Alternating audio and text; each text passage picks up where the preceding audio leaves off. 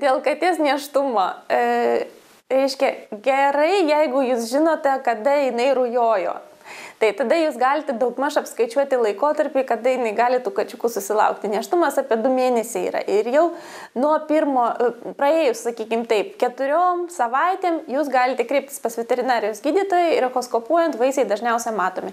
Jeigu jūsų manimų ten e, arba pirmą kartą nieko nesimatė, jūs galite truputėlį palaukti, ten 5-6 savaičių tikrai e, echoskopų matysis vaisiai ir, e, ir tai galima bus nustatyti. Išoriškai, išoriškai jūs galbūt net ir nepamatysit jokių pakitimų katės e, išorėje. Jos dažnai nebūna nei labai nutukusios, nu nebent prieš pat gimdymą jau jos pasidaro tokias labai storos. Bet jeigu katė iš pat pradžių buvo apkūnė, tai e, tikrai gali būti, kad jūs vieną rytą prabusit ir jinai jau bus atsivedusi kačiukų.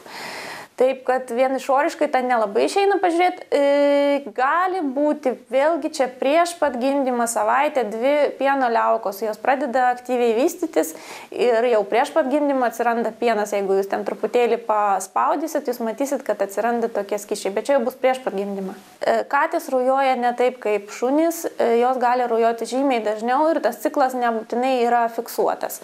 Katė gali rujoti kaip 2-3 kartus per metus, taip ir kas 21 dieną. Tai tarkim pas jūs jinai atrujoja tarp 7 ir 10 dienų, praeina savaitę, pusantros, maksimum 2, jinai gali užrujuoti vėliai. Taip kad e, tas ciklas jisai pakankamai individualus kiekvienam gyvūnui ir jisai taip pat gali keisti su amžiumi.